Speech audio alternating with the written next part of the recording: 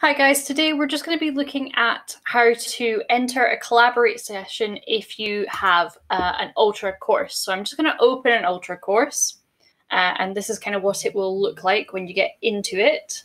Um, and I'm just going to go into student preview so that we are just seeing the student view of um, courses.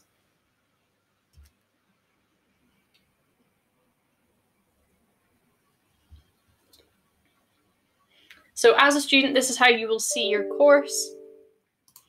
Uh, and to join your Collaborate session, just in the left-hand side, you'll see Blackboard Collaborate with this kind of purple icon here.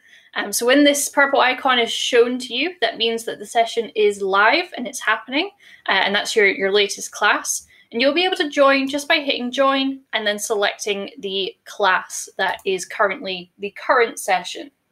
Um, so you won't be able to join any sessions that aren't happening. Uh, it will not give you the option. It will only give you the option to join sessions that are live and um, are currently being active.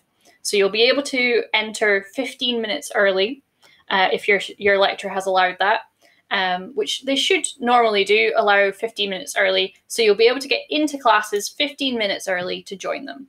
To also view recordings, if you just hit the three dots here, if any of your classes are recorded, not all classes will be recorded um, just because they don't need to be.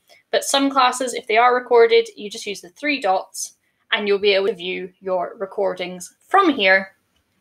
Uh, and just by um, selecting them, uh, watch now, and then you can watch it online uh, anytime that you want. And that's how you can access Collaborate and access your Collaborate classes that are recorded. Hope that helps.